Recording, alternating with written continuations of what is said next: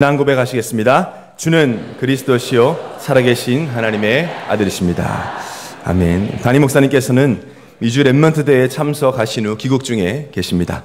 남은 여정을 위해 특히 목사님의 체력을 위해 계속 기도해 주시기를 바랍니다. 우리 옆에 있는 성도님들과 한번 인사하겠습니다. 악한 자가 당신을 만지지도 못할 것입니다. 제가 오늘 말씀을 준비하면서 솔로몬이 생각났어요. 솔로몬이 열왕기상 3장에 하나님께 1천 번제를 드리고 하나님이 너무 기뻐하셔서 너 원하는 걸 구해라 라고 하니까 솔로몬이 선악을 분별하는 지혜를 구합니다. 그 중심을 너무 기뻐하셔서 구하지도 않은 부귀영화를 다 주셨어요. 저희도 그 솔로몬을 굉장히 부러워하고 저도 저희도 그런 응답을 받고 싶어 하는데 제가 문득 구하지도 않은 것을 받았을 때 좀 당황스럽겠다 생각을 했어요. 저희도 그럴 때가 있습니다. 먼저 그의 나라와 의를 구하면 모든 걸 더하여 준다. 근데 한 번씩 그냥 구한 거나 빨리빨리 주시지 뭐 이렇게 다 챙겨 주신다고 응답이 늦는 것인가? 그냥 구한 것만 주시면 좋겠다라는 생각을 저도 할 때가 있었습니다. 제가 오늘 이제 예원교회 교육자로 부임한 지가 딱 2년 되는 날인데 어, 저는 예원교회 사역하면서 이렇게 부족한 제가 우리 이렇게 복음 사랑하는 우리 많은 성도님들과 우리 담임 목사님을 모시고 이 교회 흐름 속에 함께 할 수 있는 것만 너무 감사하고 또 얼마 전에 우리 청년회를 맡게 되었는데 이렇게 복음 사랑하는 우리 한 청년들과 함께 할 수 있는 거 너무 감사해서 제가 몇 주 전에 실제 이런 기도를 했어요. 하나님, 제가 뭐 대단한 일을 못할 것 같고 이 복음의 흐름에 방해되지 않는 그런 목사가 되게 달라고 기도했는데 구하지도 않은 주일 강단 말씀 소개해 주셔가지고 구한 것만 주시면 되는데 그래서 너무 영광스럽지만 좀 거룩한 부담도 있고 당황스럽고 그렇습니다. 그래서 몇몇 성도님 표정을 보니까 왜 사회자가 안 내려가고 있지라는 표정을 저를 자꾸 보시죠. 저 문을 자꾸 안 보셔도 됩니다. 목사님 안 오시거든요. 그래서 귀국 중이라고 하시니까 혹시 오실까봐 이렇게 자꾸 보시는 분들이 계신데, 아, 그럼 하나님께서는 목회자를 강단에 세우실 때 그 목회자 안에 어떤 메시지가 있는지를 아시고 세우시는 줄 믿습니다. 그래서 이 말씀을 우리 성도님들 삶 속에 현장 속에 성취하실 계획을 가지고 아, 또 우리 예원의 성도님들을 생명같이 사랑하시는 우리 하나님께서 절대로 조금도 손해 보실 하나님이 아니시기 때문에 그 확신을 가지고 저는 이 자리에 서게 되었습니다. 말씀을 통해 내가 누구며 우리가 믿는 예수 그리스도가 어떤 분이시며 그 능력이 얼마나 위대한지 확인하는 복된 날 되시기를 예수님 이름으로 축원합니다. 읽어드린 말씀 가지고 악한 자가 만지도 못하니라는 제목으로 말씀을 증거하겠습니다. 오늘 우리가 읽은 요한복음은 아, 사도 요한이 기록한 아, 요한복음을 기록한 사도 요한이 요한 1서도 오늘 읽은 본문도 기록을 했습니다. 요한은 예수님의 열두 제자 중에 가장 사랑받고 있다라고 본인 스스로는 믿고 있었습니다. 그 열두 제자 중에 유일하게 순교하지 않고 94세까지 장수했던 아, 그런 제자였죠. 담임 목사님께서 11월 16일 금요 예배 때 무드셀라 얘기를 하시면서 생명을 연장시키는 이유는 이 복음을 많은 사람에게 증거하기 위함이었다라고 말씀하신 것을 볼 때에 아, 사도 요한도 오랫동안 장수하게 한 이유가 바로 이 정확한 복음을 많은 사람에게 증거하기 위해서 아, 장수하게 하셨다고 확신합니다. 요한 1서는 주 90년경 기록되었습니다. 그러니까 예수님이 승천하시고 이미 50여 년이 흐른 시간이었습니다. 그때 당시에 이미 예수님의 성육신을 부인하는 이단들과 율법주의자들, 영지주의자들, 어, 그들을 인해서 공동체에 막 분열이 가는 시기였습니다. 특히 거짓 교훈들이 들어왔는데 어떤 거짓 교훈이었냐면 예수님이 이 세상에 육신의 몸을 입고 오신 것 같지만 사실은 아니었다라고 그런 터무니없는 주장을 하는 가연설이라고 했는데요. 예수님이 인간의 몸을 입고 온 것처럼 보였지만 사실은 아니었다라고 주장하는 그런 이단들로 인해서 십자가의 그 능력이 부인되는 아, 그런 전략을 사단이 쓰므로 교회가 흔들리고 있던 시기였습니다. 사도 요한은 요한 1, 2, 3서를 통해서 요한복음 19장 30절에 예수님께서 다 이루었다고 하신 그 말씀의 진정한 의미를 아, 그래서 예수 그리스도를 믿는 그 성도는 어떤 믿음으로 사야 하는지를 아주 분명하고 단호하게 선포하는 내용이 있습니다. 지금 우리가 살고 있는 시대도 마찬가지인 것 같습니다. 예수가 그리스도란 이 복음, 저희가 알고 믿고 있는 이 복음, 모든 인간은 영적 존재고 영이신 하나님 만나야 행복한데 그 만나는 길이 예수 그리스도밖에 없다라는 이 복음. 모든 문제의 시작은 원죄에서 비롯되었고 그 원죄의 문제를 해결하는 방법은 참 세상이신 예수 그리스도의 십자가의 죽음과 대속과 부활 외에는 없다라는 이 복음.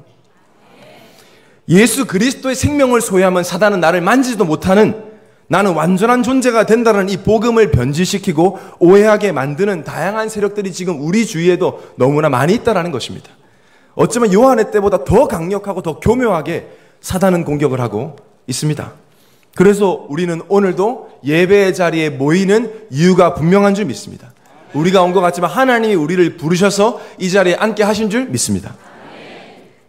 내가 가진 복음이 얼마나 위대한 능력이 있는지, 이 그 능력을 소유한 나는 어떻게 살아야 되는지, 오늘 말씀을 통해서 우리는 확인해야 할 것입니다.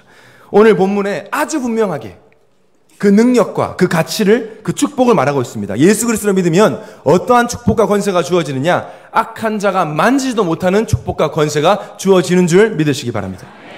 이거보다 더 큰 축복이 있겠습니까? 악한 자가 만지지도 못해요. 사단 얘기하니까 우리가 막 겨우겨우 싸우다 이긴다고 착각하는데 아닙니다. 악한 자가 만지도 못하는 축복이 예수 그리스도 안에 있습니다.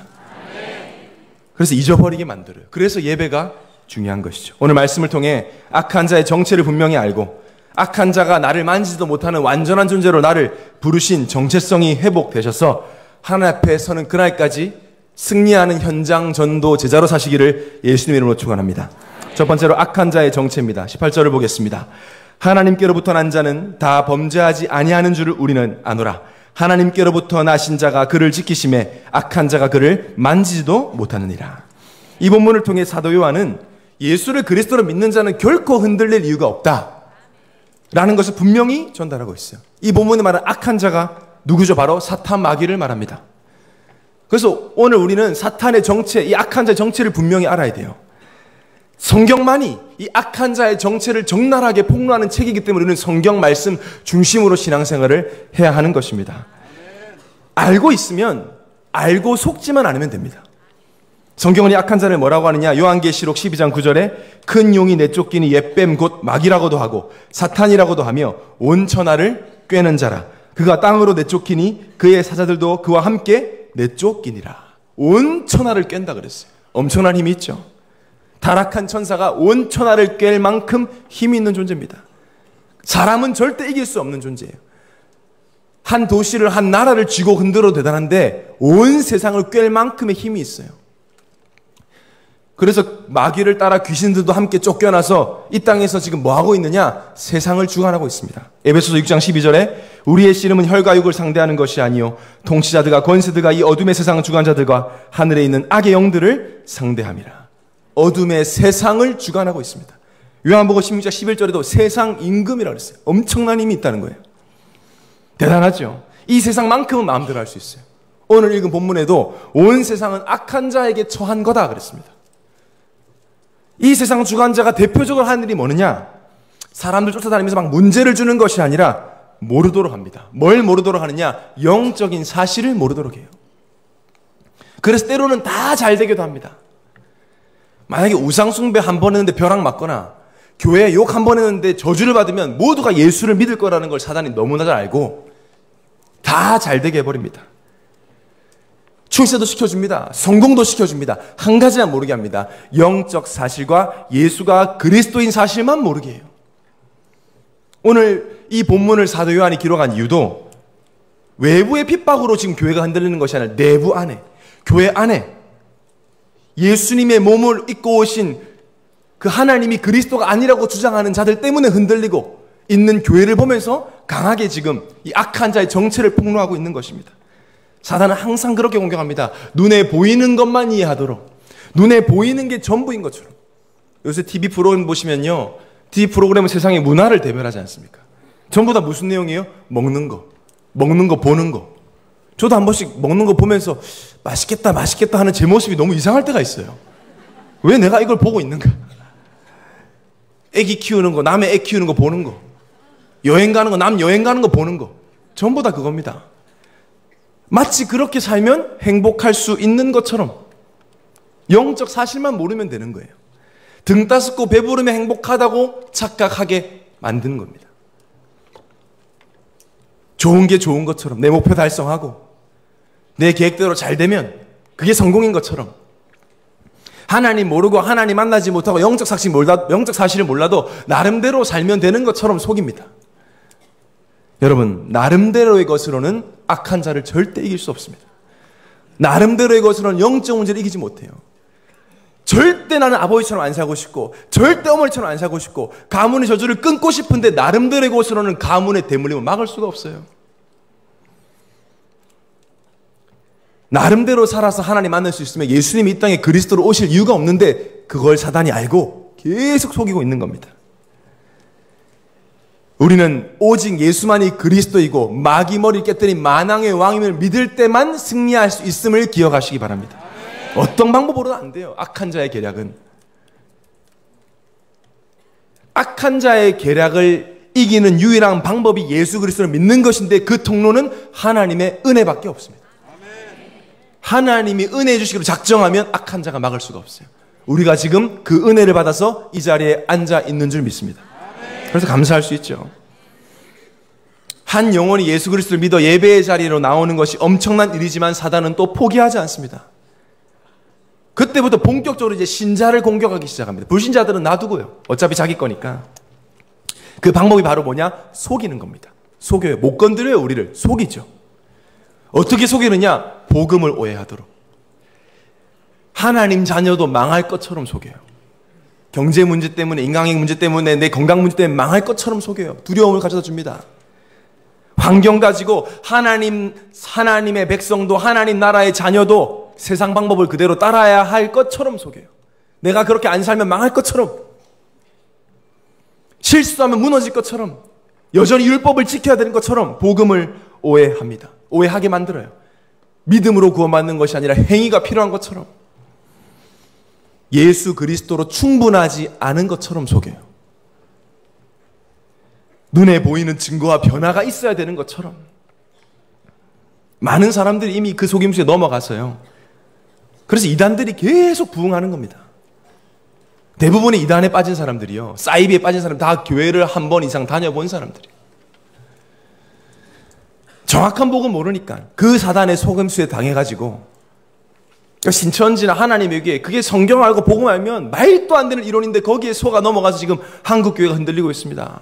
여러분 저희 교회는 신천지 출입 금지 이렇게 안 써놨잖아요. 자존심 상해요. 왜 그걸 우리가 조심해야 돼요? 와서 앉아서 복음 들어야 돼요. 신천지도. 신천지 welcome 써놔야 됩니다. 와서 복음 들어라. 귀신 들렸으니까. 여러분 지금 등명중학교 여기 앞에 하나님의 교회 교육관 생겼잖아요. 오랫동안 횟집이었는데 저는 지나갈 때마다 보면서 열받아요.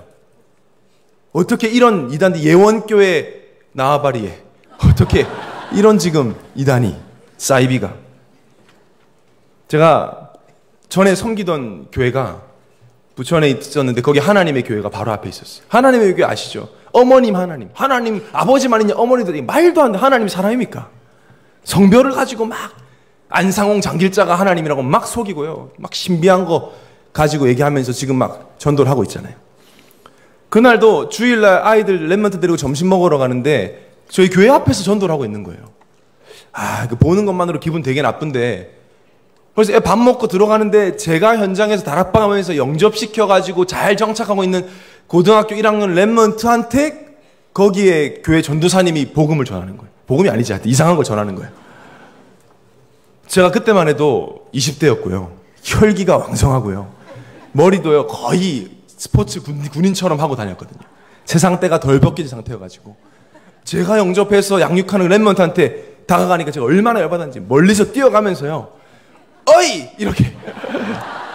뭐 하는 거야! 이러면서 달려가가지고요. 그분은 되게 착하게 생기셨거든요. 원래 이단 교육자들이 착하게 생겼습니다. 은혜 필요 없는 것처럼 생겼어요. 근데 제가 가가지고 막, 지금 당신 말이야. 뭐 하는 거야? 하면서 막 쏘아대고 놀래가지고 막, 어, 죄송합니다. 가더라고요. 그때부터 제가요, 그 시간에 저도 그 아 하나님의 교회 애들한테 전도하기 시작했어요.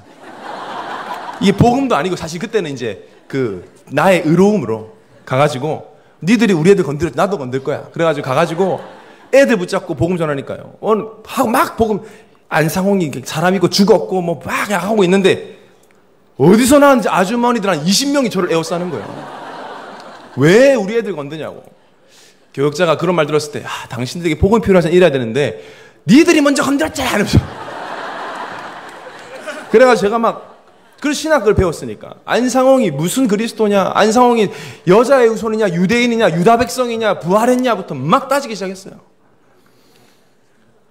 부활도 못하는 게 무슨 그리스도? 그런 말도 안 되는 거 믿고 있냐 지금? 어디 교회를 다녔길래 그렇게 들었냐? 막 쏘아붙이니까요. 씩씩거리면서 님자 안 붙여 그러더라고요. 안상홍 님자 안 붙인다고요. 감히 네가 이래요 저한테. 감히 네가 님자 안 붙이고. 그래서 제가 더 따져서 열받아가지고 성경들이 로마서 1장 2절 4절에 이 복음은 선지자들이 나왔고 막 성경 갖다 대니까요. 막 씩씩거리던 딱 저를 쳐다보면서 얼굴도 못생겨가지고 그러더라고요. 제가 딴 건 기분 안 나빴는데 그 기분 되게 나쁘더라고요.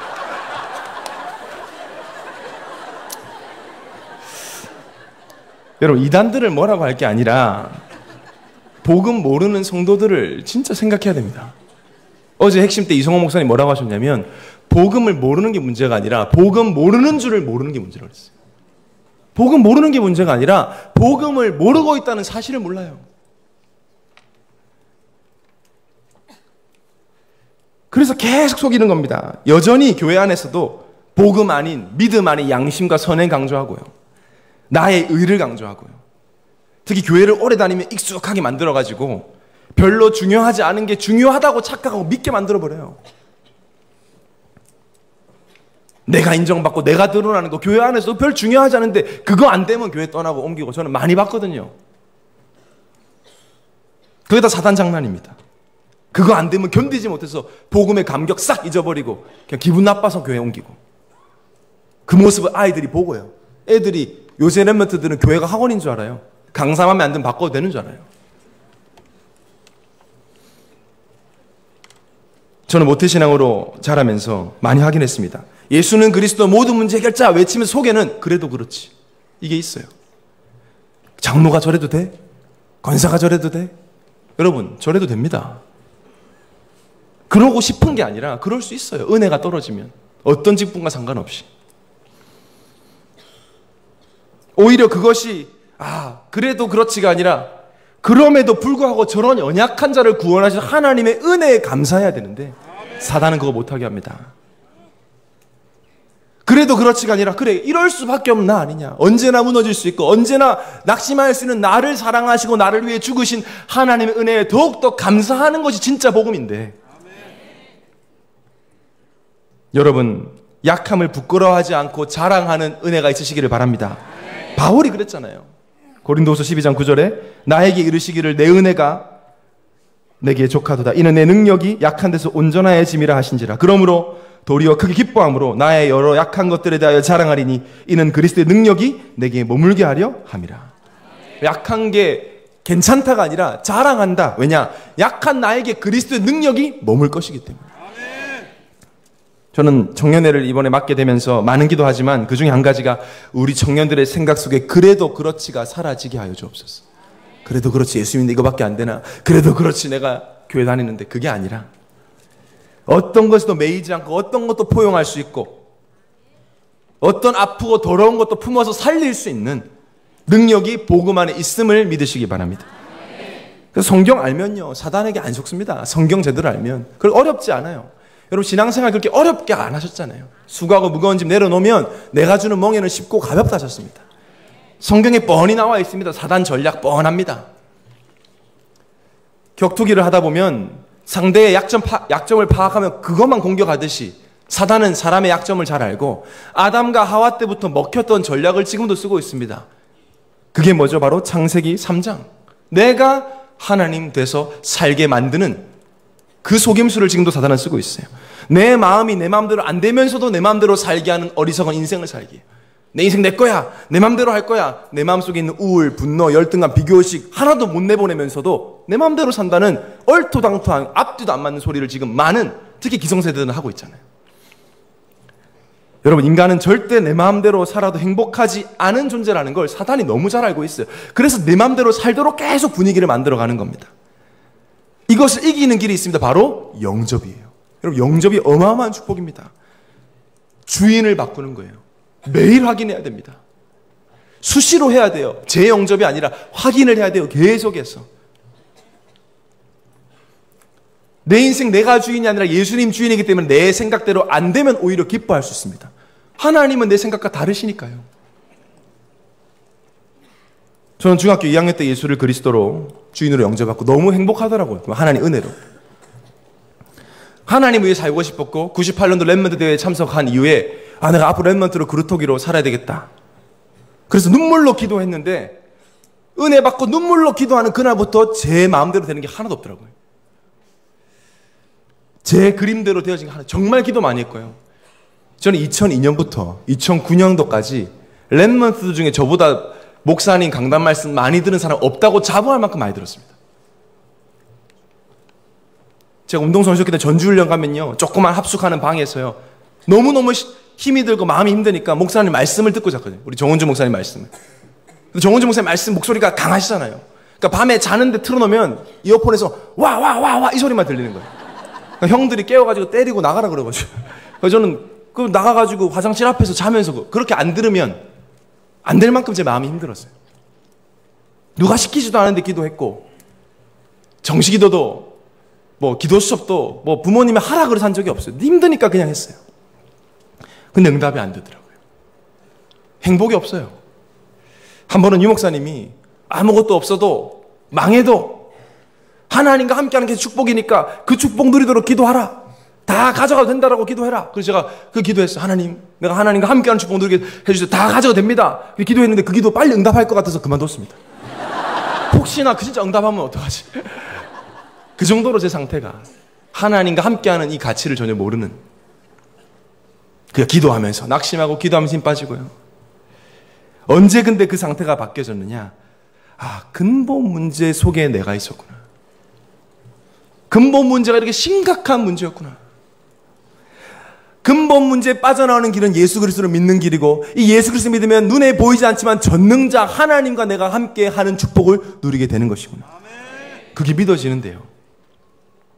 아, 내가 원하는 대로 살아가는 게 응답이 아니라 예수를 그리스도로 믿는 것이 진짜 응답이구나.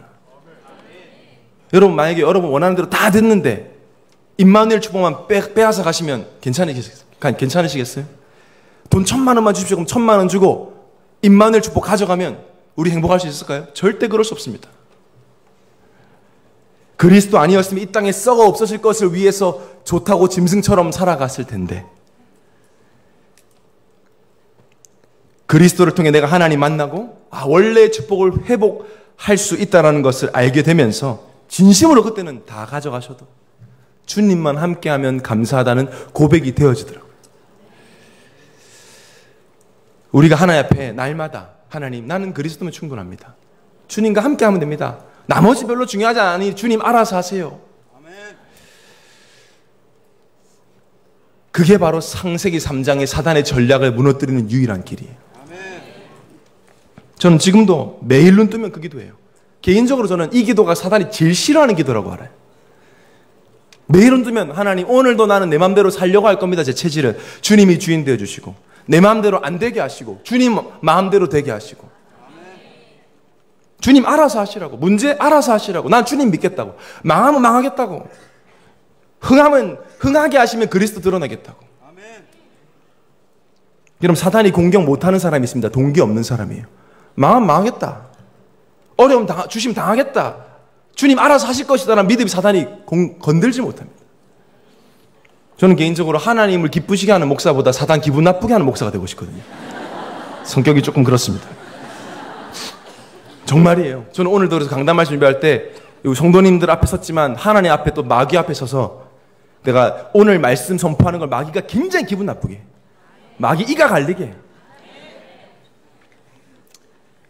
복음을 알면 알수록 너무 감사하면서도 복음 모르고 당했던 시간이 너무 아깝고 또 지금 이 복음 몰라 죽어가는 영혼을 생각하 너무 가슴 아프니까 사단이 가장 싫어하는 일을 가장 잘하고 가장 많이 말하는 목사가 돼야 되겠다. 근데 그게 뭐죠? 바로 그리스도 예수 안에서는 어떤 것도 문제되지 않는다는 사실입니다. 왜 우리가 창세기 3장의 사단의 전략을 알고 주인 매일 바꿔야 되느냐? 반드시 창세기 6장으로 끌고 가요, 사단은. 인류를 망하겠습니다. 꽤 괜찮은 사람, 꽤 똑똑한 사람 많았을 텐데, 하나도 사단은 겁내지 않고 인류를 망하겠어요. 어느 정도로 망했냐? 창세기 6장 5절에 여호와께서 사람의 죄악이 가득함과 그의 마음으로 생각하는 모든 계획이 항상 악했어요. 그리고 어떻게 마음으로 생각하는 모든 계획이 항상 악할 수 있습니까? 성경에 말하는 악한 건 예수 그리스도 없이도 살 수 있다가 제일 악한 거예요. 그럼 반대로 가장 선한 것은 뭐죠? 예수 그리스도 아니면 안 되는 존재임을 인정하는 게 가장 선한 것입니다. 당시에 창세기 6장에 자기들끼리 사랑해서 결혼했어요. 그게 뭐가 악합니까? 그리스도 없는 가정이 악한 거예요. 그리스도 중심 아닌 결혼이 악하다는 거예요. 그렇게 되면 악한 자에게 정복당해서 반드시 바벨탑 쌓는 인생이 된다는 겁니다. 창세기 11장에. 끝까지 못 깨닫고 무너져서 깔려 죽도록 사단을 만들어요. 하나님 필요 없어. 나만 잘 되면 돼. 창세기 3장.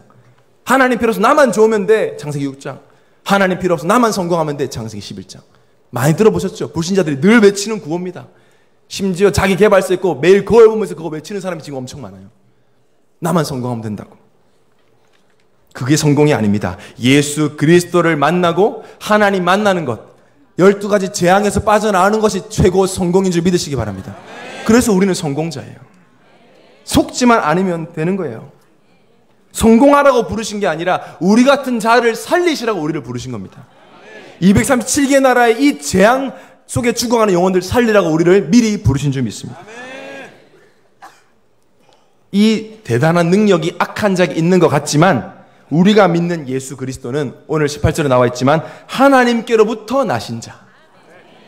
이런 사단 마귀를 완전히 멸하신 정도가 아니라 예수 생명을 믿게 되면 악한 자가 만지도 못하게 할 만큼 능력이 있는 분이 우리 인생의 주인이십니다. 끝난 거예요. 범죄하도록 인도하지 않으시고 범죄하지 않도록 인도하시고 우리를 지키시는 분. 그분이 누구시죠? 어떤 능력이 있게 이렇게 대단한 악한 자가 만지도 못하죠? 오늘 그분을 정말로 알고 믿고 누리는 복된 날 되기를 예수님으로 축원합니다. 두 번째로 참 하나님이시요 영생이신 예수 그리스도입니다. 19절 20절 보겠습니다. 또 아는 것은 우리는 하나님께 속하고 온 세상은 악한 자의 안에 처한 것이며 또 아는 것은 하나님의 아들이 이르러 우리에게 지각을 주사 우리로 참된 자를 알게 하신 것과 또한 우리가 참된 자 곧 그의 아들 예수 그리스도 안에 있는 것이니 그는 참 하나님이시요 영생이시라. 예수 그리스도 누구시죠? 참 하나님이시요 영생이시라. 이게요 사단이 벌벌 떠는 말이에요. 사단은 지금 틀린 하나님 믿게 하려고 발버둥을 치는데 요한일서 5장에 지금 너무나 분명하게 예수 그리스도만이 참 하나님이요 영생이라고 분명하게 선포하고 있는 겁니다. 예수 그리스도 외에는 전부 다 거짓 하나님이다. 절대 구원 줄 수 없는 우상과 귀신들이다. 사람들에게 왜 문제 오죠? 틀린 그리스도 붙잡고 있잖아요. 그리스도 아닌 걸 그리스도인 줄 알고 모든 문제 해결할 건 줄 알고 언제부터 아기 때부터 어린 아이 때부터 어린 아이들은 장난감이 그리스도입니다. 그리 이거 있으면 다 될 것처럼 노래 한 곡 해보라 그러면 질질 빼면서요 장난감 안 사주면 백화점 한복판에 들어 누울 수 있는 용기가 생겨요. 완전 나중심이에요. 청소년들에게는 뭐 좋은 대학 인기가 그리스도예요. 그거 있으면 될 것처럼. 어른들에게는 돈과 성공이 그리스도. 그러다 안 되면 뭐 인생 막 살아도 되는 것처럼 그게 다 거짓 하나님이라는 겁니다. 오직 예수 그리스도만이 참 하나님이시요 영생이시다. 그러니까 그분이 우리와 함께 하니까 악한 자가 어떻게 우리 만지겠어요? 우리와 함께 하시면서 무슨 일 하시느냐? 지각을 주셔서 알게 하신다 그랬어요. 뭘 알게 하시죠? 예수가 그리스도 되심이 얼마나 위대한 일인가를 알게 하세요. 날마다. 저는 어릴 때 제가 초등학생 1기거든요. 94년도. 95년도. 저도 복음 많이 듣고 구원의 길 얼마나 들었는지 모르 다 안다고 생각했어요. 아니더라고요. 아직 모르는 것 같아요. 이게 얼마나 위대한지. 아, 그래서 신앙생활은 보물찾기 하듯이 그리스도 예수의 위대함을 날마다 알아가는 것, 그것이 신앙생활의 기쁨인 줄 믿습니다. 천국 가면 온전히 알게 되겠지만 이 땅에 살아가면서 그 축복을 알아가는 것. 내가 노력해서 아는 것이 아니라 하나님께서 그리스도이신 하나님께서 지각을 주셔서 알게 하신다. 우리가 이 자리에서 하나님을 예배하고 악한 자의 정체를 깨닫고 영적 싸움에서 승리할 수 있게 하는 것이 지금 예수 그리스도께서 우리에게 말씀을 알아들을 수 있는 지각을 주시기 때문입니다. 그 엄청난 축복이 그걸 보고 하나님의 은혜다고 합니다. 우리가 지금까지 한 것이 없고 앞으로도 할 게 없어요. 우리는 죄와 허물로 죽어 있었는데요.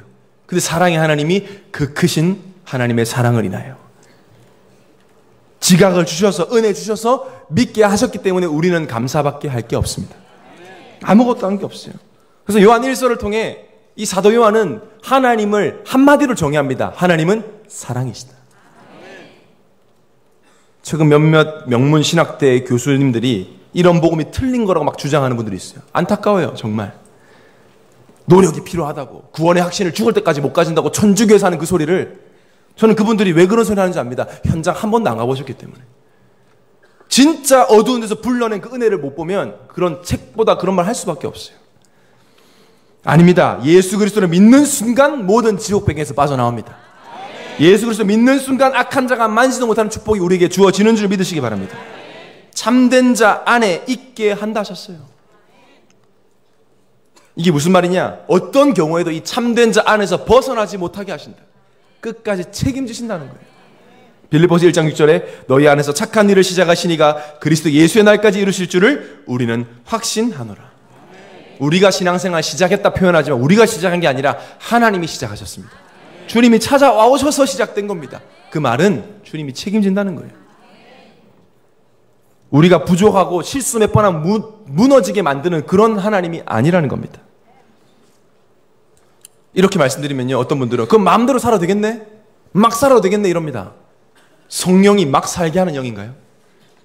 도대체 어떻게 신앙생활 했길래 그렇게 말씀하신 저 궁금해요. 예수 그리스도의 영을 성령을 받은 사람은 하나님 원하는 대로 살고 싶어요. 그 되어집니다. 세상 게 싫어집니다.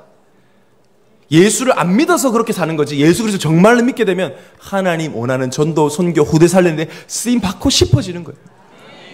제가 볼 때 그렇게 말씀하시는 분들 엄청 마음대로 살고 싶은데 꼭 참는 분들이 그렇게 얘기하시는 것 같아요.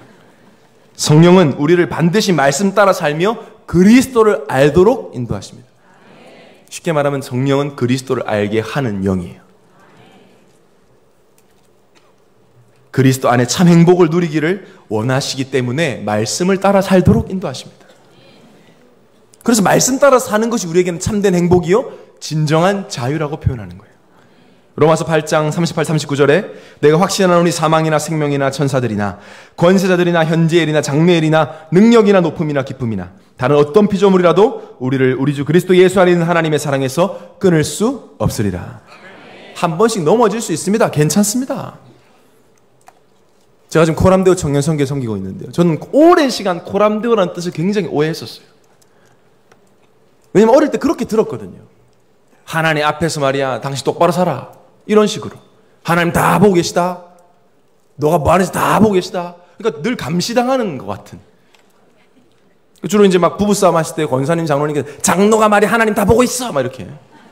당신 그래도 권사야 하나님 다 보고 하나님 앞에서 해. 저희 집 얘기는 절대 아니고요. 다른 데서 오해하시지 마시고. 근데 그게 아니더라고요. 우리 하나님 사랑의 하나님이시잖아요. 코람더의 진정한 의미는 하나님 앞에 서면 은혜 주시고 넘어지면 일으켜 주시고 죄 지으면 용서해 주시기 위해서 고람되의 삶을 살라고 하시는 거예요. 하나님 사랑이시니까요. 우리 망하고 벌 주기를 원하는 하나님 아니시기 때문에. 그리고 그리스도 예수 안에 있을 때만 영생을 누리게 하신다 그랬어요. 천국 가는 것도 영생을 누리는 것이지만 이 땅에 살면서 이 땅의 것을 위해 사는 인생이 아니라 하나님 나라의 축복을 누리는 삶을 살게 한다는 것입니다. 불신자들은 절대 누릴 수도 없고 알 수도 없고 흉내낼 수도 없습니다. 하나님 나라의 방법대로 살면서 하나님 나라의 축복을 누리면서 하나님 나라의 향기를 내뿜는 삶을 보고 전도자의 삶이라고 합니다. 그게 영생을 누리는 거예요. 저희 교회 우리 이병진 장로님께서 미군 그 용산의 미군 부대에서 이렇게 사업을 하시는데요. 여러분 그 서울 한복판은 용산에 있는데 그 미군 부대 영토는 미국 영토예요. 그래서 우리나라 사람이 못 들어갑니다. 안에서 초청을 받아야 들어갈 수 있고요. 신분증을 줘야 돼요. 제가 이렇게 초대해 주셔서 들어갔는데 저는 미국에서 사, 7년을 살았기 때문에 미국을 잘 알죠. 근데 그 문만 열고 들어갔는데 미국인 거예요. 모든 표지판, 보도블럭, 주차장 사이즈, 집 모양까지 전부 다 미국인 겁니다. 너무 신기하더라고요. 야, 비행기 안 타고 미국 온 것 같더라고요. 그래서 호텔 안에 들어갔더니 호텔 안에 미국 냄새가 나요. 미국 냄새가 뭐냐면 그 미국 세제, 미국 세제를 쓰는 거예요. 부페 식당에 들어갔더니 오이나 마늘이나 이런 게 사이즈가 다 커요. 그래서 보니까 이 미국 오이, 미국 마늘, 미국 양파. 그래서 제가 왜 이렇게까지 하랬더니 이건 미국 군인들이 먹을 거기 때문에 미국에 싹다 가지고 온다는 거예요. 그래서 제가 그때 느낀 게 있습니다. 아, 우리가 예수 그리스도 안에 살면서 하나님 나라의 방법대로 살지 않으면 이 땅에 살면서 하나님 나라의 한계가 나지 않겠구나.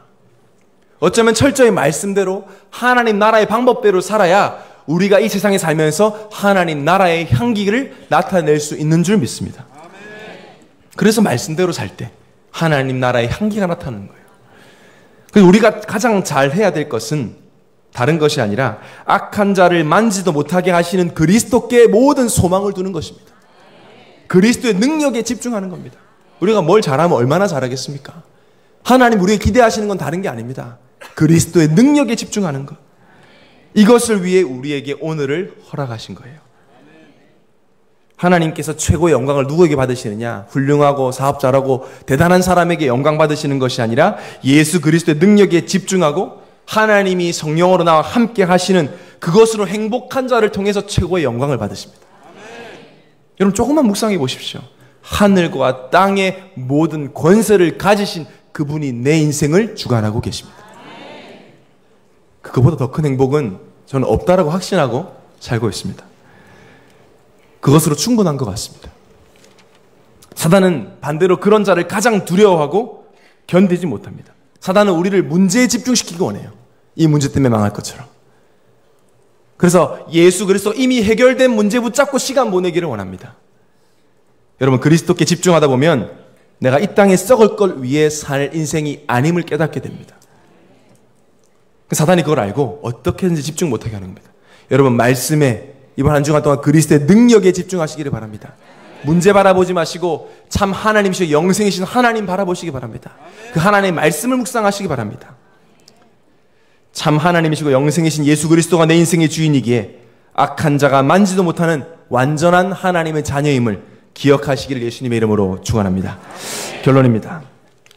사도 요한의 별명은 사랑의 사도입니다. 흥미로운 것은 원래는 별명이 그게 아니라 천둥의 아들. 그렇게 불릴 만큼 성격이 좀 괴팍하고 과격하고 급했어요. 심지어 노골적으로 예수님께 내 자리 궁금하다고 성공을 요구했던 자였어요. 근데 부활하신 예수 그리스도를 만난 이후에 사랑을 얘기하는 사랑의 사도로 변화가 되었습니다. 성격이 바뀐 것일까요? 급했던 성격이 느긋해지었을까요? 저는 그렇게 생각 안 해요. 1세대 목사님들 봤을 때 그건 아닌 것 같아요. 성격은 그대로 유지되는 것 같습니다.